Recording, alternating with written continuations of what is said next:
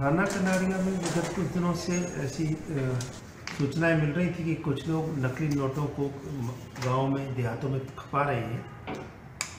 मुखबिरों को चौकन्ना किया गया और पतासाजी की गई। तो पता चला कि कुछ लोग कंप्यूटर का जो प्रिंटर होता है, उससे स्कैन कर करके, और फ़ोटो कापी कर करके और प्रिंट बना करके और गाँव में खपा रहे हैं।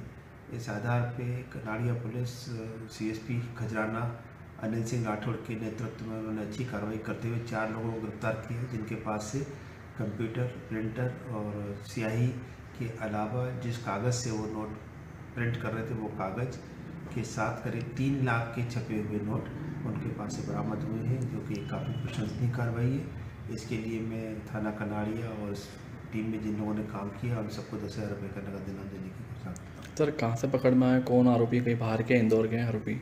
ये इंदौर के ही हैं और विगत कुछ दिनों से लगातार कार्रवाई कर रहे थे।